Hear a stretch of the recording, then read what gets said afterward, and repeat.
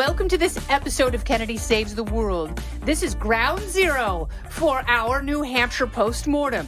And there's no one I'd rather talk about the live free or die state than Charlie Hurt. He's the opinion editor at the Washington Examiner. He's also a Fox News contributor, and he is my friend. And earlier he was wearing camouflage, though he has disrobed from his overcoat.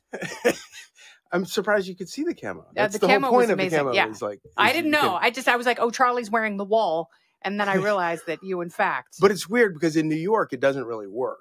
It's like everybody sees it, and they're Mhm. like, "That guy is about to uh, shoot up the place." yeah, if if the FBI had their way, they would go into your I would be Zelle tackled. trades and make sure that you were arrested because you had to have had some part Yeah. in January 6th. But see, the good thing is, if you're in Iowa or you're in New Hampshire, it fits right in. Yes, Everybody's because like, you're a "Oh, that's normal, person who Right, enjoys the outdoors. Right, The real conservationists, Hey, as I like to call them.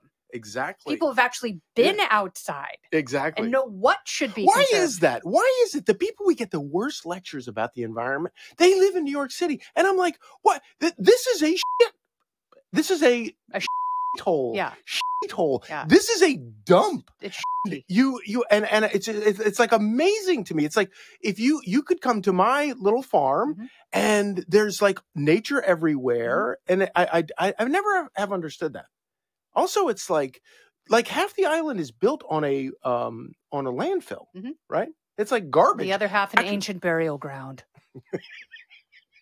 but I, I've always thought that that was very odd because the ultra progressive greenies Yeah. like to tar conservatives as being anti conservationist when they're the ones who spend much more time in nature. If they actually went to parts of the country where there were concentrations of redness, they would find people who hunt and hike and fish Yeah. and surf and do all of these great fun things and they would very much like to preserve the elements that they have enjoyed their entire lives they just want to do it through innovation and the natural forces of the free market as opposed to these superimposed regulations from the federal government which end up being failures as you're Yeah. seeing ford and other auto manufacturers shelve their evs for hybrids which are Right. a much better choice for a Right. majority of people Yeah, it's like it's, and that's why at the end of the day, it really does. It, it's it's as old as human nature.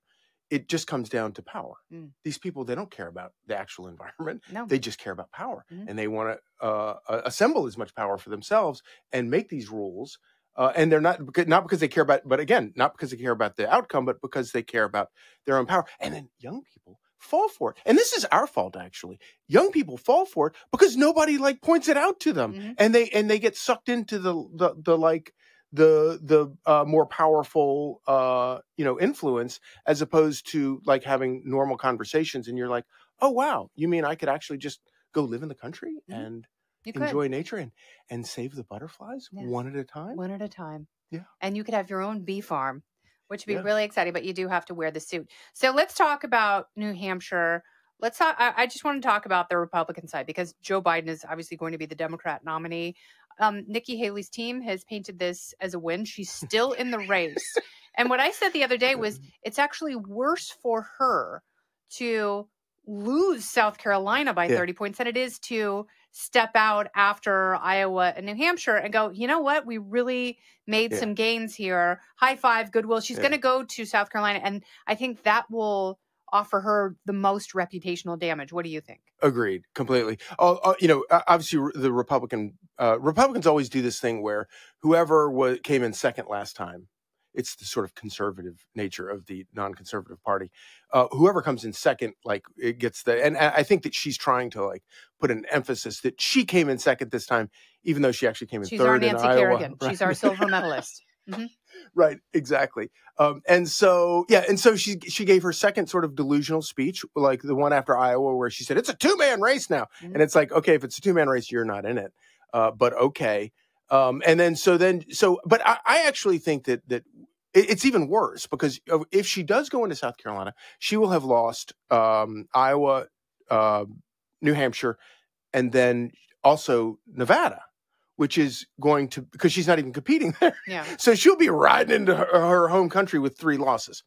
I think what she and she's already out with an ad. I think that what she's actually going to do because she has my oh also if you're wondering what money does for you in politics, this is what money does for you in politics. It gives you options. But I've also read that some of her backers Yeah. are now doing with her what they did with DeSantis.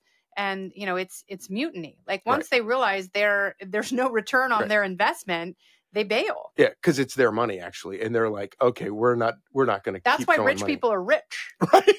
exactly. They're not stupid. Uh, with the, at least uh, not when it comes to their money. Although they do, they they do. They pick the worst political candidates. Yes. It's amazing. Did you think so? I had, I was one of those people, and maybe I'm suggestible, but I had high hopes for Ron DeSantis because Yeah. I just assumed naturally he would Yeah. run on his Florida record and, you know, give the country a version of Trumpism without Trump.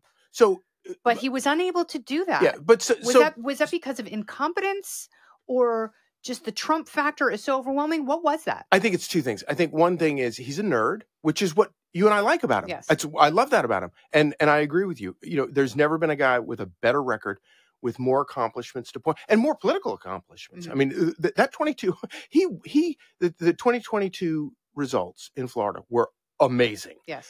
and uh and and th- that should ha- have uh you know, but but the problem is that he's not good at retail politics. And so, and whether we like that or not, Mm-hmm. I would rather have someone who's super I- nerdy on the I- spectrum who agreed. can actually do things agreed, than someone who can go into an Iowa diner and kiss a baby, which I think can be creepy. agreed. But that's the, whether we like it or not. That's the system, the way we have bad it. system. It's okay, but what's the alternative? There is no alternative. Okay, so our, our election cycles are too long because now Ron DeSantis and Nikki Haley are thinking about 2028 when Trump won't be running, Right? but so are Ted Cruz and Rand Paul. You know, Tom Yeah. Cotton is probably thinking about it. Any notable, slightly visible Yeah. Republican is going, ah, yeah, 2028 All right, is my so, time. uh, uh, uh, but two things. One is, uh, you know, DeSantis got ahead of himself, Mhm. and he thought that, uh, and, and uh, I mean, you could make the argument that he should have stayed on the sidelines. But here, but just as a uh, fun little exercise, if he had decided to, let's say Trump was not running this time, and he had decided to to run, I think Ron DeSantis would have won Interesting. even if some other people who are more gifted at politics had gotten into the race with him, I still think the accomplishments in Florida and the accomplishments in the election would have uh, people would have looked past the But fact what about what that about the debates? he's he's yelling at children for eating ice cream on the which I loved. I Yeah. thought it was fantastic. That's going to give you diabetes or whatever Mhm. he said. It was hysterical. But it's also if you're in if you're in the circus that Trump is dominating, it's like it's too easy to sort of fall back on, oh, that guy's on, you know, there's something wrong with that guy. But I think that uh but I and, and then and then the polls show which, and I, you know, I think polls are absolutely horrible, and I think they're stupid and meaningless. But I do think that the whole concept that he uh, was everybody's second choice Mhm. was uh, w- tells you a lot about his future. But the other thing that I would say, real quick, is that uh, he should have run the campaign that Vivek Ramaswamy ran. He should have run like he had nothing. I was actually surprised that uh, I would assume that Vivek would stay in the race longer than Nikki Haley because he Yeah. can, and Yeah. and he was having so much fun, so much fun. being the conspiracy Yeah. theorist and being the fly in the Vaseline, Yeah, if you, which I I didn't like him in the debates. Yeah. But I, I liked when he would go and have his own town halls and he Yeah. would engage people who disagreed with him. And then when people would attack him, like the reporter from NBC, and he just unleashed, I love that. But I, I want to talk to you about RFK Jr. Mm. A lot of my friends who are, some of them are independent, some are libertarians, some are Democrats, not very many they're on the Republicans. spectrum, as you might say. They they are many of them on the spectrum, um, the political and the uh, other spectrum. Mm-hmm. They like him. So so do I. what does he do? But there there is something about he offers people a version of America that they have not been given. They're being condescended to by the establishment, and he is confident enough to not need this.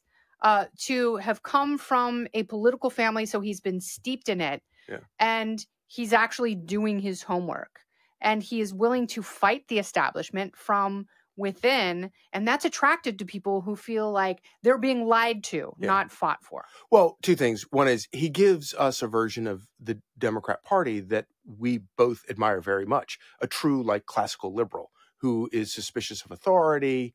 I mean, I love everything. I, I mean, I, I, you know, politically, I'm probably not really aligned with him, but like in another world, I, I have eh, Trump happens to scratch all my itches, and I think it's hysterical. And for all of his flaws, there's, I, I still, I think he's good for the system because he's such you can a see a dermatologist and get cream for many of those hitches he is a uh, he is a shock to the system that needs to be shocked, and I, Mhm. so I like a. But in a world without Trump, I could totally see myself getting behind a guy like RFK, Mhm. but but partly because he is a true liberal in that he uh, that, that that I respect. Like take the environment stuff, you know. Uh, the part of environmentalism that we can all agree upon is that guy has devoted his life to cleaning up the Hudson River, Mhm. like like actually taking crap out of the Hudson River. I have no, I have much more respect for that. For, Yeah. for looking at a problem and coming up with solutions, Yeah. which It's is now incidental in Yeah. politics. Like it, it literally happens in politics because we become obsessed with this idea of whether or not someone would either nuke China Right. or we could have a beer with them. Right. Well, and and it's not, and and that's the environmental movement, not about power. Mhm. They're not trying to control your It's lives. pragmatic. Yeah, it's pragmatic, and and they want to actually like clean stuff up, which makes a whole lot more sense. And it's like it's like we were talking about a minute ago, where you know you walk around New York City, and I'm just like, really, you're going to lecture us that you li- have literal bum dump on the side on Mhm. the sidewalk, Yeah. and you're going to lecture me about my land that is like pristine and clean and has like wildlife everywhere. Yes, but if you dig a pond, you'll Right. be fined ten thousand dollars a day. Oh, don't even get me started on that. That one is the and and the argument that they make is and and it's always this zero sum most depressing solution thing. So you build a pond, which by the way, we used to like love people to build ponds, and there are a lot of very good reasons for building uh I'm a building pond ponds. fan. Yes. Ponds and lakes, like I'm all in. But so, but the argument they and and of course they use satellites Mhm. now and uh, in in order to like monitor people's land. Mhm. And if they catch you building a pond, they will they will find you out of existence. But their argument is that it raises the temperature by like two degrees of creeks.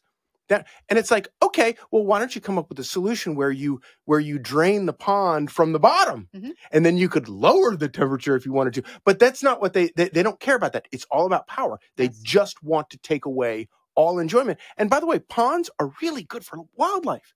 Like if you want a pond in your pasture, it's it's a better way to water your cows, Mhm. but it's also really great for the butterflies and the birds and the ducks. Yeah. And if you want to, all you have to do is spend time in Africa. Yeah. And and you know, go to these watering holes and you know, Mm, go go observe them after the dry season. Yeah. Because it turns out that animals need Yeah. water. And of course, shocking. you know, there but it it everything is a cycle, but they want to take elements out of the cycle, which throws us into imbalance. But I feel like as a whole, we are imbalanced politically. Will we will we ever lower the temperature, not in our own political creek, but among families and, and people who used to be comfortable disagreeing. And now if, if you disagree with someone about politics, you are literally Hitler. Yeah. Will that ever get better?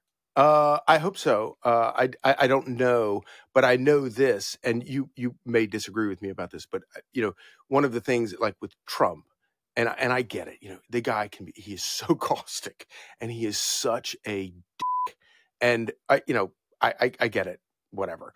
But you know, when you look at what they have done to him through the the legal process, That's why he's still here. That's Yeah, why he's it's why still he's still here. popular. But also, but Every time they go after him in a new way, it it brings people who were skeptical Yeah. of his personality back into the fold because they feel defensive on his Right. behalf. Because if they're using all of the columns against him, Right. imagine what they can do to but you. but a lot of that is a is just a, a guttural reaction, and there people aren't really thinking it through. But I I would actually take it a step further and think about it and and uh, make the argument a little bit more um, uh, specifically, which is to say that you know this is this is no way to run politics, and if you let Democrats in Atlanta, in Washington, D.C., in New York City get away with winning an election this way, yeah. they'll never run politics or in another Maine way. Colorado. So to, to, I have a, I have a yeah, real problem with but, that. But to, so to answer your question, my hope is that that that if you if you force them, if you force people, if you break them from being able to play politics this way, then maybe and then and then Trump retires, goes away, then maybe the temperature does drop. And as as I pointed out a, a couple weeks ago uh, in a column, you know, if if they had just if they had just let Trump run his course, mm-hmm. he would be leaving politics right now, yes. as opposed to uh, ramping up for another term. It's like the old country song. If I had shot her when I met her, I'd be out of jail by now.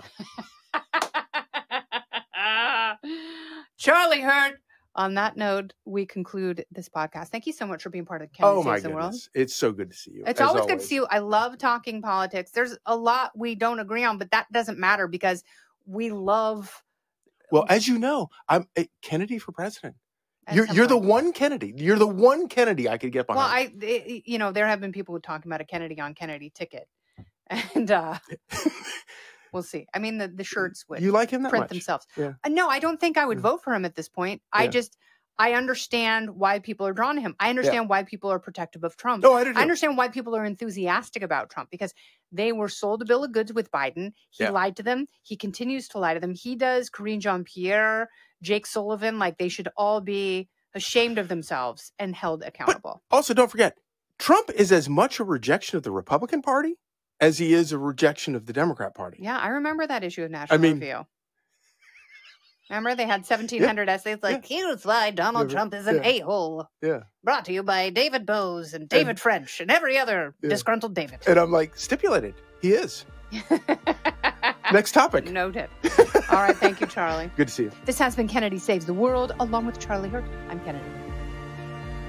Listen ad free with a Fox News Podcast Plus subscription on Apple Podcasts, and Amazon Prime members can listen to this show ad free on the Amazon Music app. Oh, go ahead and leave me a review while you're there. I'd love to hear what you have to say. You've been listening to Kennedy Saves the World on the Fox News Podcast Network.